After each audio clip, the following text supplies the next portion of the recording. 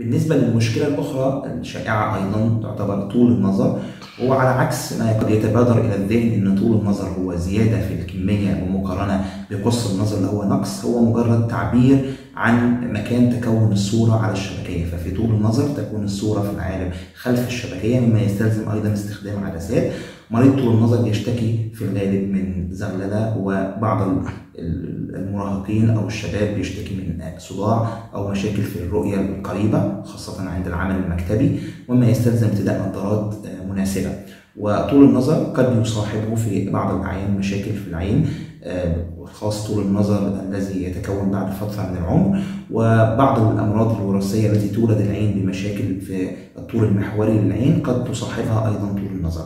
وبالتالي مهم جدا علاج طول النظر في الوقت المناسب وبعض مشاكل الحول عند الأطفال يمكن علاجها باستخدام نظارات طول النظر المناسبة في حالة اكتشاف ذلك بشكل مبكر مما يمنع تكون الكسل في العين ومهم وبالتالي مهم جدا فحص الأطفال في الوقت المناسب بالذات اللي بيشتكوا من مشاكل في الحول أو مشاكل في عدم الرؤية الواضحة.